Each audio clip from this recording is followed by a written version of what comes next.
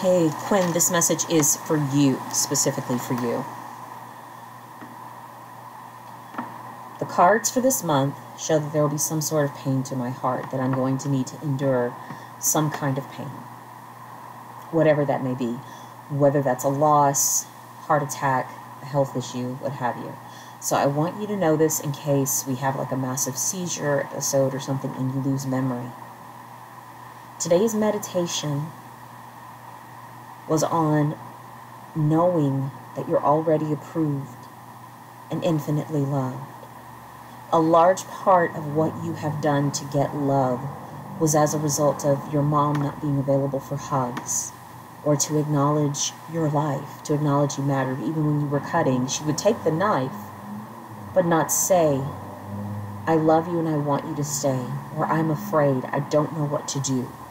She couldn't do that. But I think her taking the knife was her way of doing it. It was in her language. But she didn't know what to do about her kid wanting to hurt herself. Okay? So even though your mom wasn't able to see you, even though your mom wasn't able to um, understand your need of being seen by her, knowing that you mattered, your life mattered to her, what happened to you mattered to her. Though your mom couldn't say it verbally to you, which is your main form of communication, is auditory, she loved you. And God was infinitely loving you during that time. God saw you and knew your worth. God knew your worth when you or no one else did. And God knows your worth now, and you know your worth now. So I know you're still hanging on to, to wait to get mom's approval, and I think this is a great conversation to have with your mother. Just to um, own this for you in her presence.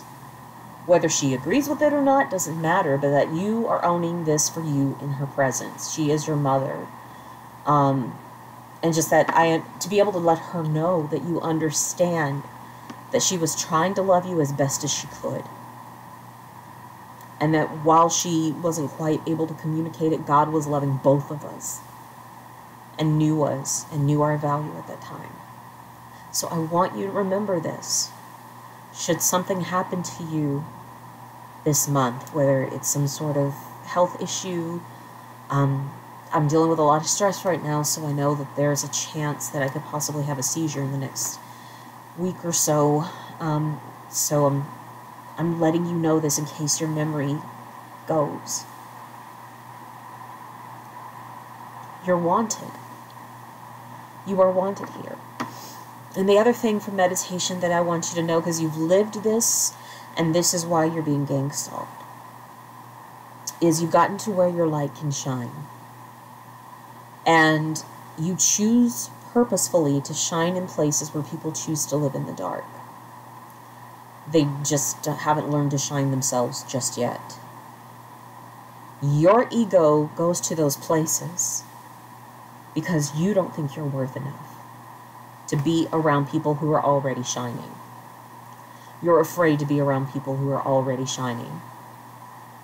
To fully be you all the way out. So you go back to those dark places that you came from. You came from those dark places because you had the same reaction to people who could shine. You go back into those dark places and you try to shine in front of people who you know what it's like to feel that way. That pain, that loss, that clinging to darkness and hiding. You shine there, one, to feed your ego.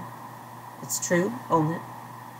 Two, because you know that there's someone in the dark that's hiding, that wants to shine, that wants to come out of the dark, that has been coming out at dusk when the sun goes down, trying to build a tolerance to light, trying to come out. So that's why you go back. It's why you go back. But in that darkness, there are a lot more beings a lot of beings that do not want to change, don't know how, they're afraid. They are afraid of the light.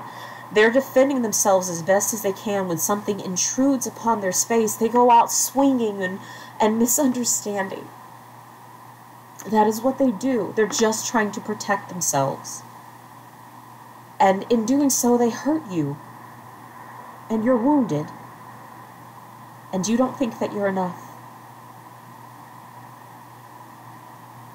You don't think that you're enough to shine with where people can shine. And you feel sad that you don't belong back in the cave anymore. And you stay near the cave hoping that somebody will come out who wants to shine. And they may hit you too. But maybe they'll they'll take the opportunities to start coming out earlier and earlier to withstand the light, to be in the light, to move in the light, and then to be the light themselves.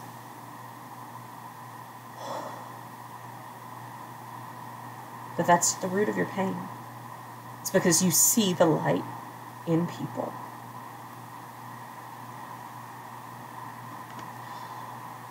You see the light in people, and they may not see it in themselves yet. They may not want it for themselves yet. But you see it, and you gravitate to those that you see. And you hope, you hope you can help to ignite them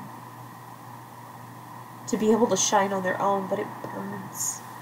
It's too much. It's terrifying. And then they swing out trying to protect themselves.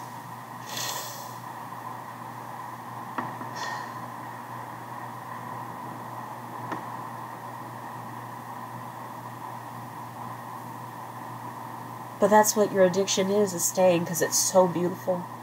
It's so beautiful to see someone come out of the cave, come out of the dark, to shine fully, to dance. It's beautiful to see it happen, and you're addicted to watching that happen. And that's why you keep going back to those dark caves, and that's why you keep enduring the pain.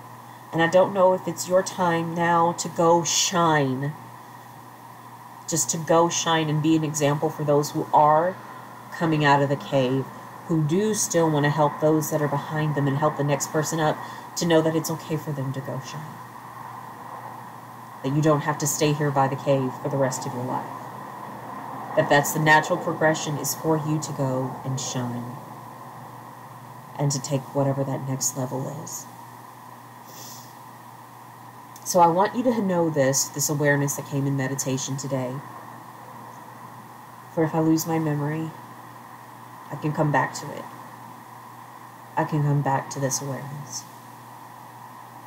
And maybe I'll continue to shine. Maybe I'll start a class for people who are coming out of the cave. I think maybe it's time for me to learn how to shine. It's what's happening with the interest in the voice acting and the balloon art. I think it's the time to come out and, and be fully myself as best as I can. And then once I've experienced it, maybe come back and teach lessons. I can just leave breadcrumbs for those leaving the cave to follow me.